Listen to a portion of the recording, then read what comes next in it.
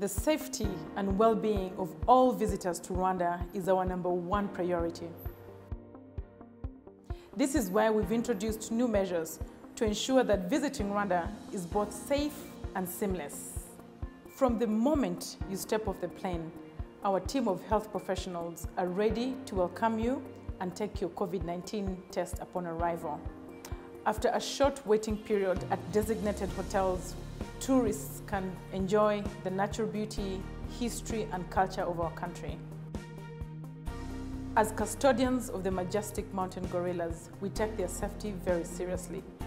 As a result, we have put additional measures to ensure their health, as well as those of the visitors that go to the national parks.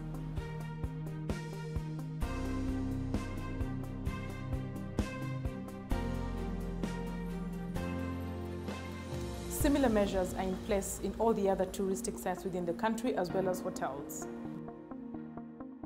Which is why Rwanda has received the World Travel and Tourism Council Safe Travels Global Safety and Hygiene Stamp.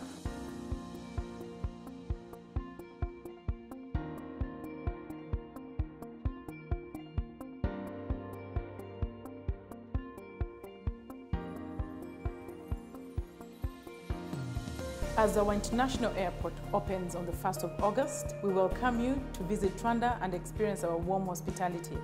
Welcome to Rwanda, Murakazaneza.